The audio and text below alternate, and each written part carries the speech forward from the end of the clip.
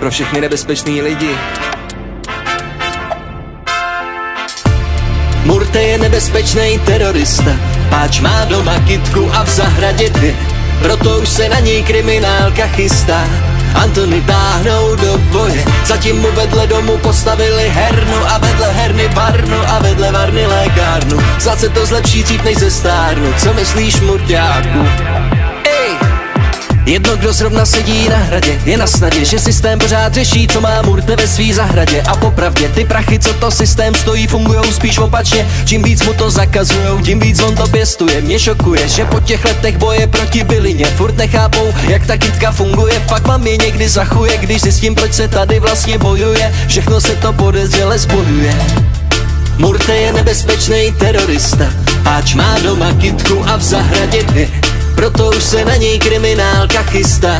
Antony táhnou do boje. Zatím ve městě otevřeli další knajpu Kde dá si pivo stanku levnější než vodu z kohoutku. A k tomu vínečko ze soudku. Tradiční pochoutku. DJ Moore